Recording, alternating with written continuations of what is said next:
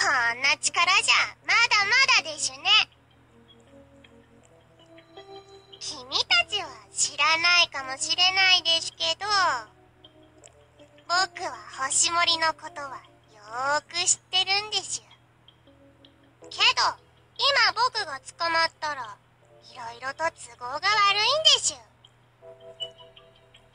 女の子が消えた事件やっぱりあなたの仕業なの？んでも教えてもらえると思ったら大甘でしゅ。僕は君たちのママや検索エンジンじゃないでしゅ。な、何なんだろうこの感じ。正論だけどムカつくわね。うるさいでしゅ。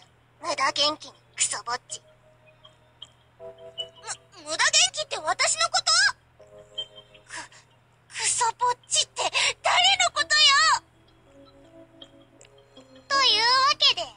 話は以上でしゅ事件の謎も新型イロースの謎も自分たちで解くがいいでしゅ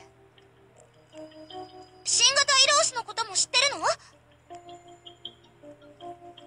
れは試練でしゅ星森全員に課せられた。というわけで僕はここで失礼するでしゅ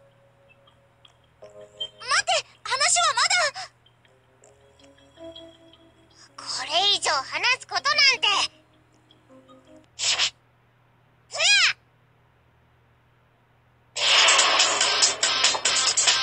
イロシの気配を追ってきたらこれはどういう状況？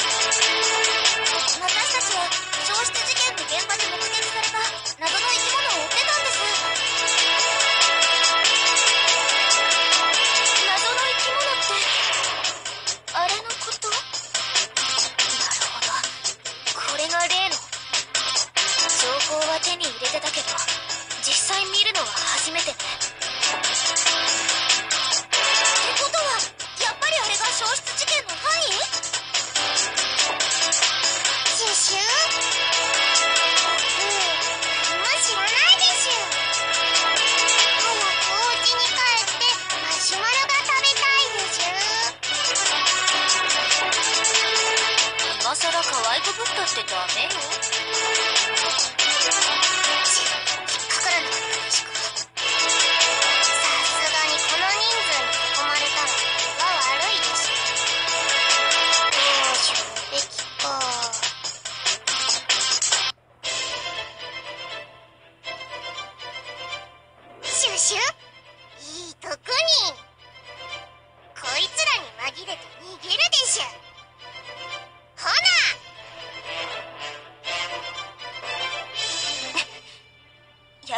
しきたわね。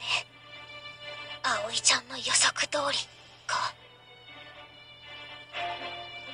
女の子が消えた場所ではなぜかイロースの出現率が高くなってるの。その中心にはいつも新型イロースの存在があった。だから事件現場を探ってればイロースと新型イロースに自然と出くわすってわけ。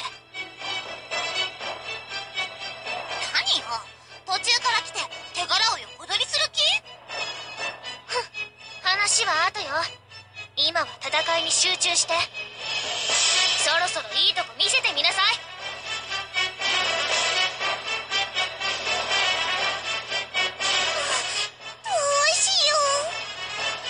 どちらにしても今はイロウスたちを追い払うしかない。倒さずともそれくらいのことならできるはずだ。行きましょう。